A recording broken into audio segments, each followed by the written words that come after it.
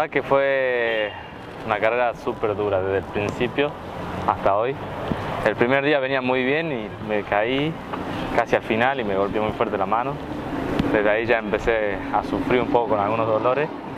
Seguí, el, segundo día fue una muy buena etapa en la cual gané muchísimo tiempo abriendo pistas y encontrando bien los caminos. El tercer día tuve una caída realmente tonta y me golpeé la nariz y, bueno, acá estamos así, todo, terminamos, deformado un poquito, pero fue una ruta 40 que marcó bastante, una carrera increíble por lugares realmente muy buenos, muy exigentes, mucha navegación, ríos, dunas, vegetación, o sea, realmente había, había de todo. Creo que quiero felicitar a Pablo Eli que marcó una carrera muy buena. Que creo que yo y todos los pilotos nos vamos muy contentos de eso, porque fueron cinco días muy duros a nivel de lo que se puede esperar en un Dakar. ¿no? ¿Qué destacás en lo personal vos? Eh, la carrera, los caminos, el ritmo, la velocidad, pero también el aspecto psicológico de enfrentar tantas adversidades. Sí, fue muy importante bueno, estar siempre en positivo, manteniendo, manteniendo la fe, la, las ganas, el entusiasmo. cuando me golpeé, obviamente que alguna vez estaba muy dolorido y por ahí pensaba que tal vez no podía seguir o no sé, pero bueno, siempre tirando para adelante, poniéndole el pecho y, batallando, que no queda otra.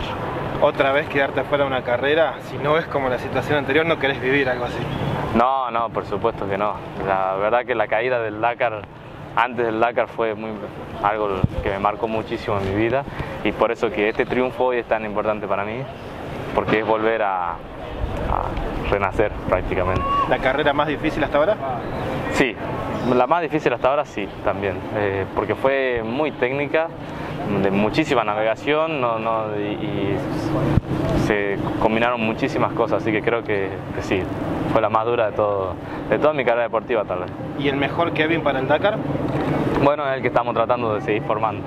Hay que seguir limando algunas cosas, pero, pero vamos por un buen camino. Yo creo que estoy trabajando bien, haciendo las cosas bien, entrenando, físicamente me estoy sintiendo muy bien, con la moto un buen ritmo, así que bueno, hay que seguir, seguir trabajando porque siempre hay tiempo para seguir mejorando. Bueno, esta carrera ha sido una carrera bastante dura, eh, una buena carrera y bueno, muy contento de la performance que he tenido aquí, estuve siempre ahí en la lucha por las primeras plazas, el tercer día estaba incluso por delante y bueno, el cuarto ya me quedé sin freno de atrás, al, medio de la, de la tapa, una caída por el medio y bueno, Kevin ese día salía bastante de atrás y me atrapó y ahí la carrera prácticamente se hizo ayer.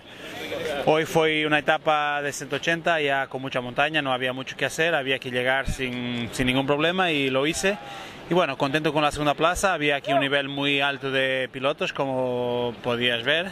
Estaban prácticamente todos los candidatos del Dakar y bueno, estuve ahí siempre en alto ritmo y eso me deja bastante contento, incluso eh, haberlo hecho en una carrera tan dura como Ruta 40, que es un poco el espejo de algo que podríamos encontrar por delante en el Dakar. Si no era por esa caída, ¿vos pensás, que podías ganar hoy?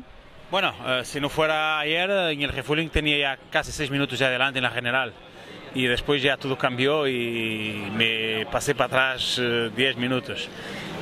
No, no tengo dudas de que podría haber peleado hasta el, hasta el último kilómetro y bueno, pero así es la competencia, contento de igual forma. Las felicitaciones a Kevin que lo hizo bastante bien aquí. Es muy difícil ganarle y claro, que haya estado ayer por delante de él ya un buen par de minutos, pues eso tiene que alegrarnos y hay que seguir trabajando. Él está haciendo un buen trabajo, es un piloto grandísimo y bueno, contentos por el equipo Monster Energy, uh, Honda Team, que lo ha hecho bastante bien. Tenemos un doblet aquí ahora mismo, primero y segundo, y bueno, seguir trabajando, que ya, ya viene la carrera. Del 1 al 10, ¿cómo la, la, calificas tu carrera? Esta tiene un grado de dificultad como... La tuya, la tuya, lo, que hiciste vos. Bueno, yo creo que estuve ahí por un set y medio, porque el, el 10 sería ganarla.